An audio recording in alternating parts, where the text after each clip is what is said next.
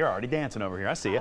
Uh, right now, tickets are on sale for Time Magazine's number one show of the year, Matilda the Musical. It runs through the 16th at the Aronoff Center. It's based on, of course, the novel by Roald Dahl and tells the story of a girl who uses her sharp mind and vivid imagination to take a stand and change her own destiny. And one of the show's stars, Keisha Fraser, joins us in the studio this morning to talk about the show. Good you heard morning. the music and you're Yeah, already you're already up and moving. kids on stage. I just love them. well, and you you know what, and that can be a challenge. You know, sometimes to work with young people. You've certainly got a, a lot of young people in this show. Is it fun? Do you kind of take off their energy? It's a, little lot bit? of fun. Um, to be honest, I pretty work pretty exclusively with all the Matildas, so Yeah. I'm never on stage with the rest of the kids. They're always in classroom scenes, and I'm always in library scenes. Okay. So I'm always with the Matilda, but I love them. I have so much fun with them backstage. How many Matildas are there?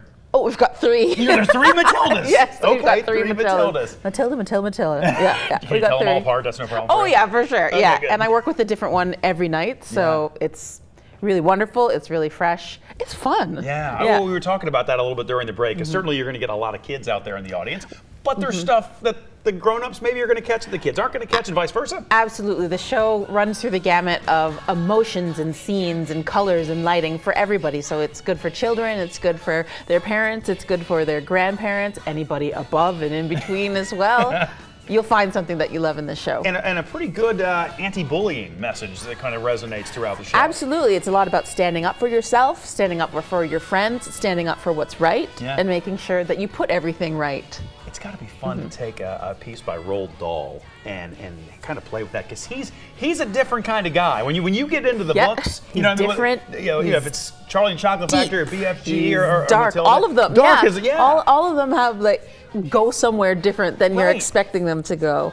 Um, so and you'll see a lot of that on the stage. You know, there's Yeah. a lot of like laughing and happiness and fun throughout the songs, and then certain characters come in and it just takes a little bit of a deep turn. And Matilda and her friends and everybody has to figure out how to deal with that. That's awesome. And now I know as you as you go around the country, you're probably working with different organizations. I know in town you're doing uh, crayons to computers. Yep. Um, it's got to be, I, I- I would think, for you, sort of special as well to be helping in that way. You're not only bringing entertainment to people, but Yeah. you're, you're helping out some organizations too. Absolutely, especially playing, uh, you know, being the character that plays the librarian. Right. I imagine that kids are coming into the library and coloring and drawing and everything all the time, and they need those supplies. And so Yeah. it's just great that at every show that we have an opportunity for people to bring stuff that they're not using anymore for somebody else to use. Yeah. Now I know it's hard when you're going town to town and you're different places. Have you got to do anything while you've been in Cincinnati yet? Anything that's inherently Cincinnati yet? Inherently Cincinnati. No, I am looking forward to chili, but I'm saving that for next. I'm saving that for Easter Sunday. Okay. That's going to be my Easter Sunday That's meal. gonna be your special gift, Uh, sure. Yeah, yeah.